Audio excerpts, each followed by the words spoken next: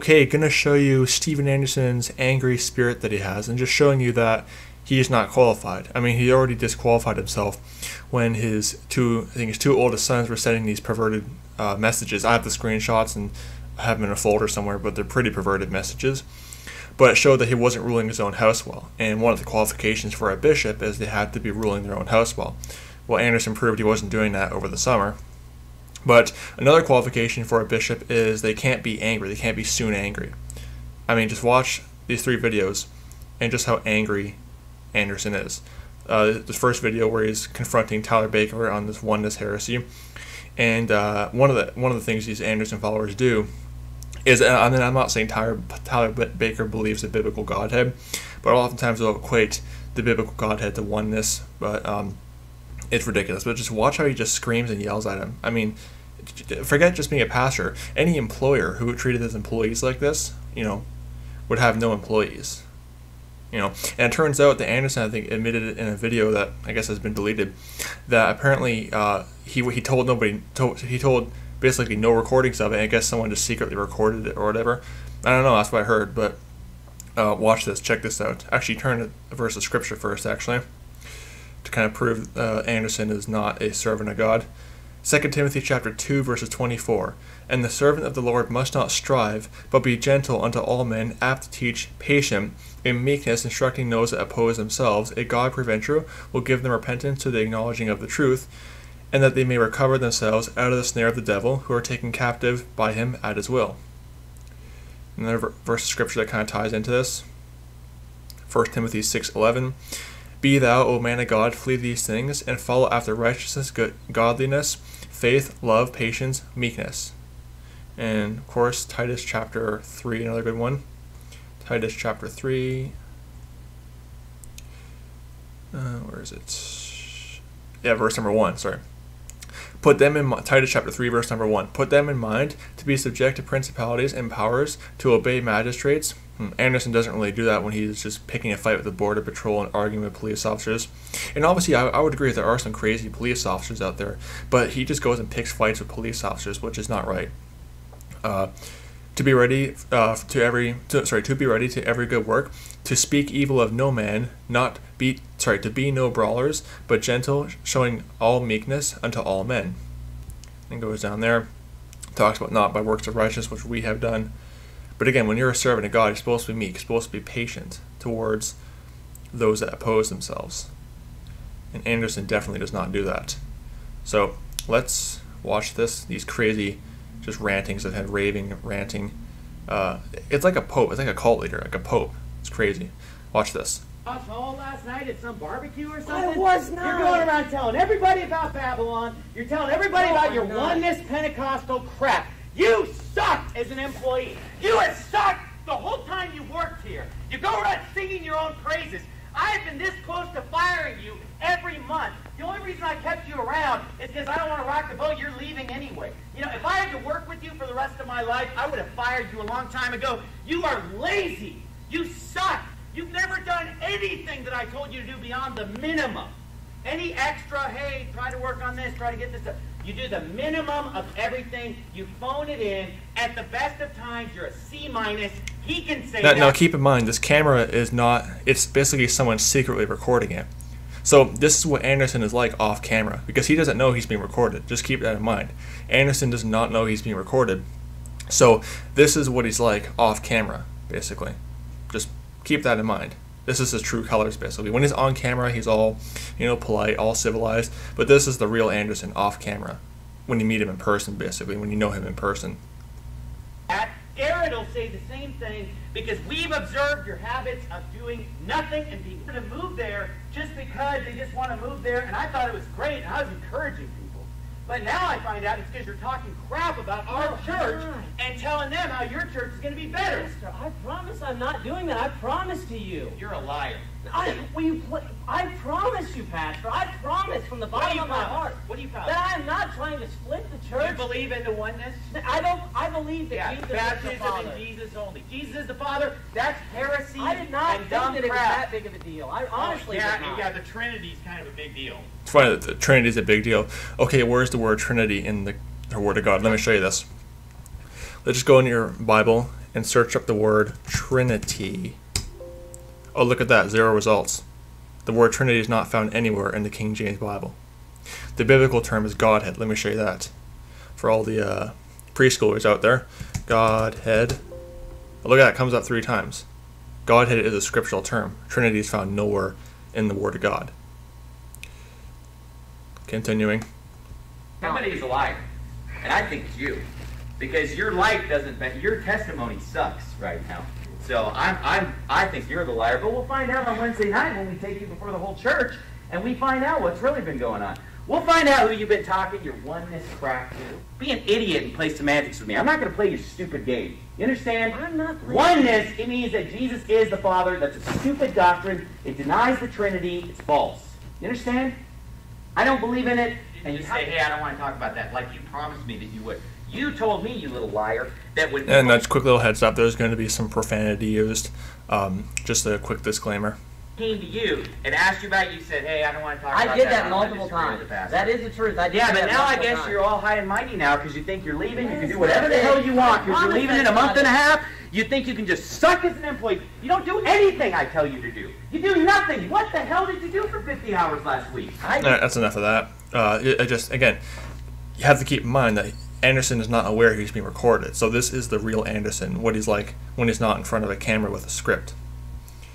So, but this uh, this this last video I showed in my video titled uh, "Steven Anderson's Angry Spirit," where he basically is ranting about some people in the church rejecting the Trinity and and just like a good cult leader or pope would. Uh, but then this other video uh, is again Anderson basically showing his true colors, and just like the last video, in this video Anderson was not aware he was being recorded. Uh, there was a video again, the same video where he mentioned this time because he was he did a video. It's been deleted, uh, but he did a video where he was reacting to a video against him where someone was showing these clips, and he said, "Well, you know, I, I told no one to record. You know, I wasn't aware." So Anderson was not aware he was being recorded in this video either. So again, this is the true Anderson, what he's like off camera. Let's watch this. Right here has texted people without coming. Oh, to and also another heads up, there's going to be some profanity in this video too. He, he uses the H word in this video too. Wonderful godly Christian that he is. Look, if he had a problem with my doctrine, shouldn't he have come to me?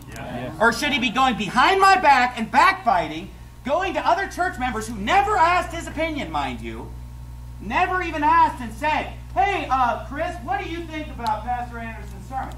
He just texts them because he saw them on YouTube defending me.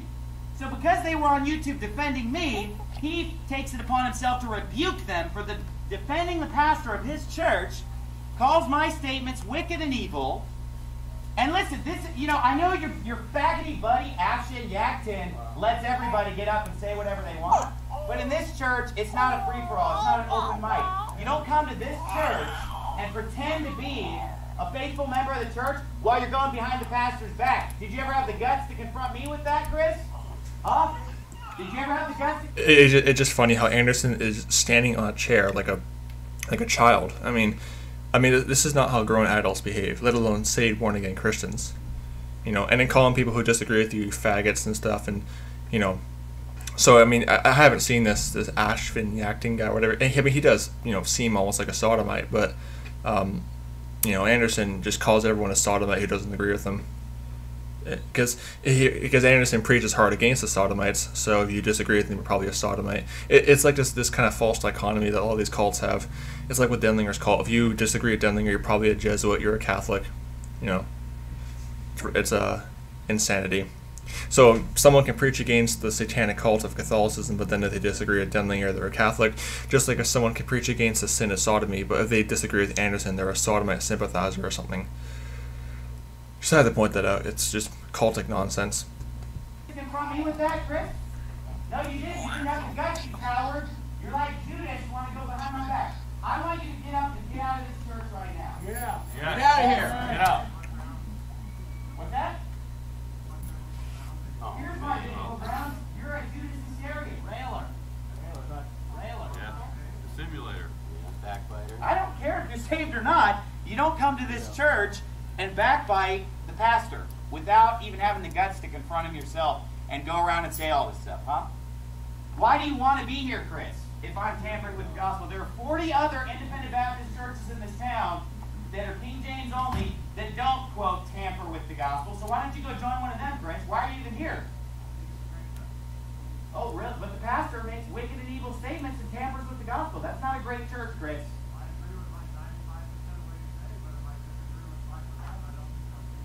You're right. Disagreeing with disagreeing with what I preach is not a reason to be kicked out. You're right.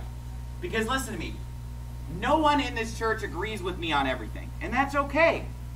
Because we're all different. We all read the Bible. We all have the Holy Spirit. No so he, he's, he's basically saying that, oh, people don't have to agree with me. Well, a lot of the evidence suggests differently. When people disagree with them, they get, lo- they call, you know, an Adam Fannin. Uh, and of course, I have disagreements with Adam Fannin, but uh, the way he was treated by these guys for not submitting to Shelley, uh, who wasn't even the pastor at the time, is uh, pretty cultic. But then he's gonna say, "Oh, you don't have to agree with me." Again, it, it's it's this cultic thing of where, and if Denlinger does the same thing. Basically, it, it's actually amazing how similar the new IFB cult is to Denlinger's cult. It, they're they're so similar. I mean, not maybe not doctrinally, but in terms of how they behave, they're very similar. But they will say something and then they'll basically contradict themselves in like other other times to say, well, you know, I did say, you know, that it, it's again, it's deception, cultic deception. two Christians are going to agree on everything. That's fine. No problem. I've had people come up to me and say, "Hey, I don't agree with this doctrine." I always tell them, "That's okay. You don't have to agree with me. You're welcome to come here." But there's a big difference between not agreeing and calling the pastors preaching wicked and evil and accusing them of tampering with the gospel behind his back without ever bringing that to me. Do you see the difference, Chris? No, no. Watch, watch what happens now. So he tells, he uses profanity. Tells the guy that you know get the H out of there, and then some other guy tries to defend him, and Anderson just chews off that guy uh, for no reason. Tells him to get out, and it's like, you know, and this is not somehow a cult where you have a pope who's just railing against anyone who dares to question his authority. And Jack Hyles did the same thing. Uh, they become their own popes. Get out of here, idiot. Pick him up and take him out if you won't leave. You need to pray for him. This is not Take him out. work. Hey, get out of here. I didn't ask you. You've never even been here, fool. Get out. here. Get out. Get out. You don't just walk. Okay, uh, chapter and verse for that. Because there are sins people would- you could kick somebody out for. He just kicked the guy out because he disagreed with Anderson. So, in one breath, he says, "Oh, people don't have to agree with me." But then, when someone disagrees with him and, and attempts to stick up for the other guy, Anderson says, "Like, get the hell out of here," you know. Um, okay, so it's not a cult, but it, you know, yeah, it's a cult. walk in here and start telling us how to run the church. We got a bunch of filthy faggots out there protesting us right now. We're in a battle right now. Get out of here. You have to ask your advice. Pick him up and get him out of here if he won't leave. Yeah, that's fine. It's funny how also a lot of these cults too, they'll have the little henchmen who will just spring into action when they'll spring right into action when you know the Pope demands something. Take your time. Now look, if I, I will listen to people who actually are members of our church, who actually attend here, not a first-time visitor. Does somebody, if somebody thinks Yeah, that's enough of that. Let me just turn to one last verse of scripture, talking about the uh, qualifications for a uh, bishop, which Anderson uh, proved over the summer when it was revealed that his sons being involved in this perverted texting to each other members of the church and where is that? I think it's uh, trying to find the script. It's in um, it's First Timothy chapter yeah chapter three qualifications for a uh, bishop or an elder. This is a true saying. If a man desire the office of a bishop, he, this is First Timothy chapter 3, verses 1 to, um, 1 to, yeah, 1 to 7. Okay. 1 Timothy chapter 3, verses 1 to 7.